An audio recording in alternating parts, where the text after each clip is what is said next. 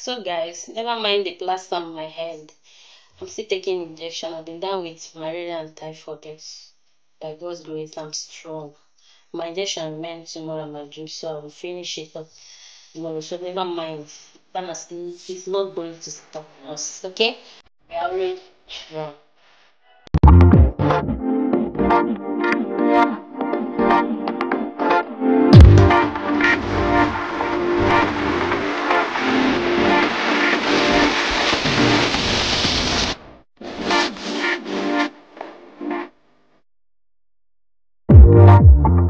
Hi guys, good evening, good evening everyone.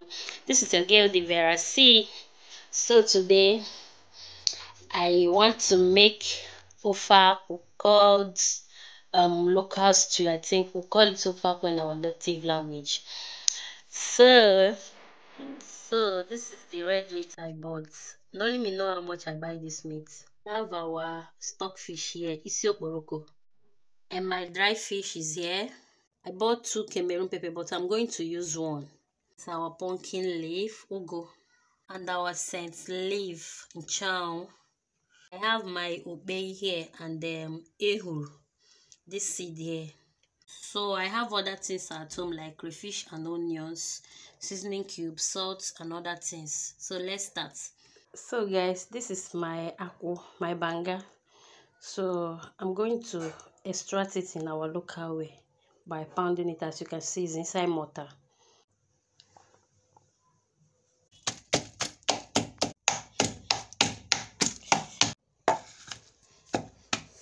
So the next thing we are going to do is to boil our meat.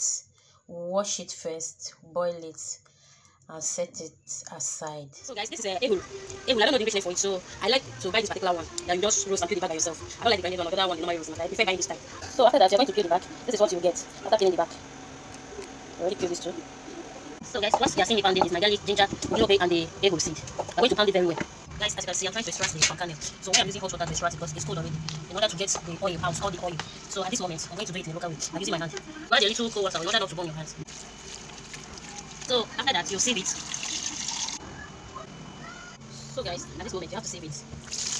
Why I'm sieving it because there are some particles that are wet. You'll see it now. You see that? You see that? So this is why I sieve it. So as you can see, our banga is boiling.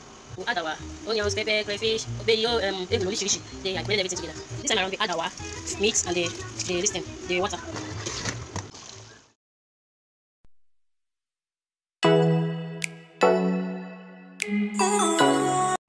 So guys, at this moment our ofe akwu is ready to consume. But this one here now is going inside my freezer. So for those of you that don't know how to make ofe akwu, you can learn from this video as well.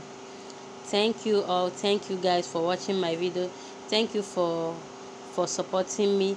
Thank you to my returning subscribers. Please don't forget to give our video a thumbs up. Thank you. God